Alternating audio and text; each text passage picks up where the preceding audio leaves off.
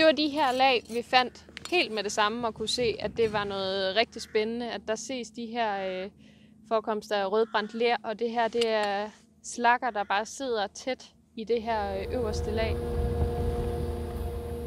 I forbindelse med forundersøgelserne herude på Baltic Pipe, der har vi øh, fundet nogle øh, spor fra oldtidens mennesker, og der er fundet et rigtig stort kulturlag fra med affald fra jernudvinding, og øh, det kommer sådan i form af store klumper slakke og øh, forskellige sådan, øh, koncentrationer af, øh, af brændt ler. Myrmalm det er jern, som det forekommer naturligt i, i jorden, og det øh, forekommer særligt i, øh, i vådområder og lavninger i landskabet. Øh, og det hernede bagved langs træerne, der ligger Lindved Å, og der øh, sydvest på, der ligger et øh, større vådområde, hvor det er ret sandsynligt, at de har taget det her myremalm op, og så taget det med hertil og, øh, og udvundet jernet i nogle ovne, som man har bygget her på stedet. Og der har virkelig været blæs på de her ovne. Vi finder de her øh, stykker, der nærmest har sådan en struktur, ligesom blæretang med store luftbobler i. Og det tyder altså på, at der virkelig har været øh, varme på de her ovne. Det her jern det har øh, formentlig været brugt til de daglige redskaber, man har, øh, man har haft på de forskellige øh, bebyggelser i perioden. Om det er knive eller andre redskaber eller forskellige øh, navler til opbygning. Alt muligt kan det have været brugt til.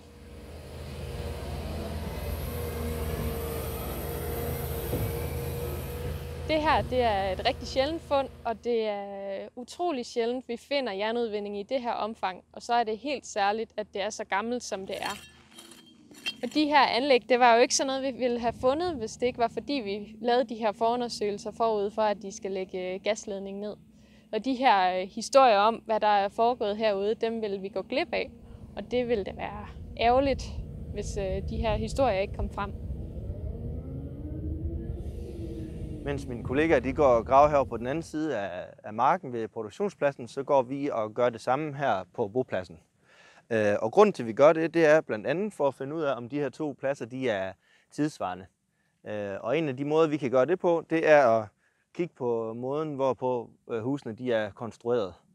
Og et eksempel på det er, at vi har et hus lige herovre med et vægforløb, der består af dobbeltstolper. Og det er blandt andet øh, noget, man ser i, i den romerske jernalder.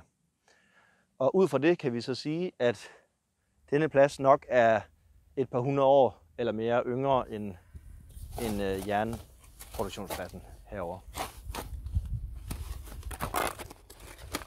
Her kan vi se de dobbelte vægstolper, som øh, viser os, at det er øh, muligvis er et hus fra den romerske jernalder. Øh, og det her det er sydsiden af et, øh, et romersk jernalderhus.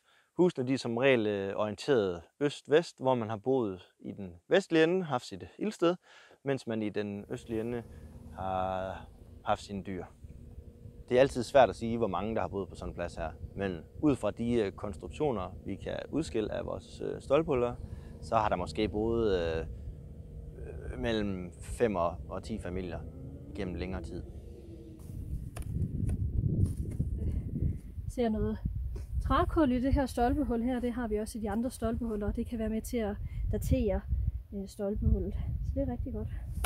Vi har også lavet noget bunden, så det passer nok meget godt. Grunden til, at vi ser alle de her pinde, som så repræsenterer vores stolpehuller, det er, at øh, de her huse, de har ikke holdt for evigt. Det vil sige, at et hus måske har stået i 30 år, og så har man øh, revet det ned og bygget et nyt op. Og det har man gjort i samme område, som det er, man allerede boede i. Det Katrine og jeg går og laver lige nu, det er, at vi prøver at dokumentere de huse, øh, som nu måtte være her, øh, og, og hvilke faser de tilhører. Og måden vi gør det på, det er blandt andet ved, at vi laver sådan en stor hul øh, her halvvejs igennem øh, øh stolpehullet, for at se øh, stolpehullets profil. Det vi ser her, det er et, øh, det vi kalder et snittet stolpehul.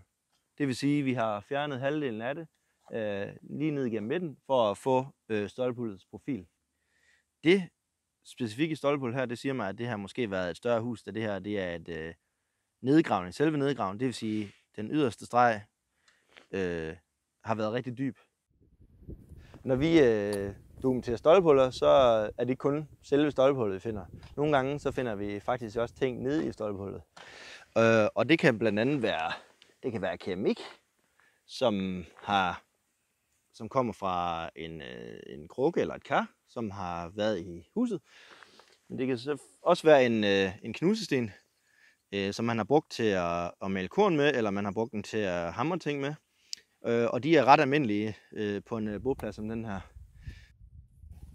Måden på, hvordan vi finder ud af, om de her to pladser, det vil sige vores boplads og jernudvindingspladsen, har en øh, forbindelse med hinanden, er, at vi tager nogle øh, jordprøver fra blandt andet øh, produktionsområdet og bagved, og fra nogle af de øh, stolpehuller, som vi har her på bopladsen. Jordprøverne, dem tager vi så øh, og sammenligner med hinanden for at finde ud af, om bopladsen den er samtidig med jernudvindingspladsen.